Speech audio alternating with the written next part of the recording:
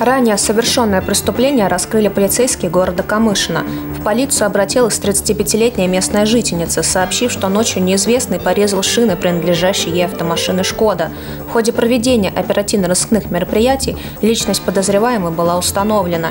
Ей оказалась 42-летняя соседка потерпевшей, которая ночью ножом порезала все четыре колеса автомашины. В содеянном она созналась, пояснив, что преступление совершила на почве личной неприязни к потерпевшей. Дознаватель следователями в отношении подозреваемого возбуждено уголовное дело.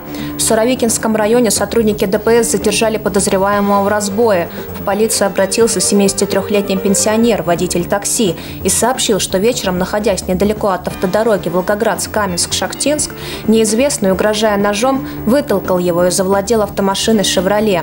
В ходе оперативно-розыскных мероприятий полицейские задержали ранее неработающего судимого 43-летнего жителя Калача. Возбуждено уголовное дело. Мошенники продолжают обманывать граждан, желающих заработать на бирже.